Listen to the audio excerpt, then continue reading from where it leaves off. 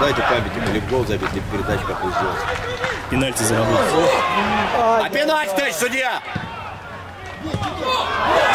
Нам подачек не надо, мы сами забьем. Кто забил-то? Мы все равно покажем Егор Титову. Он сегодня у нас герой. Он смотрел знаете, за этим всем, как в теннисе, знаешь, налево, направо голову. На самом деле, поддержка Егора, пусть и ментальная, но она сыграла свою роль. Вербально. Ну и вербально. Какая разница? Большая.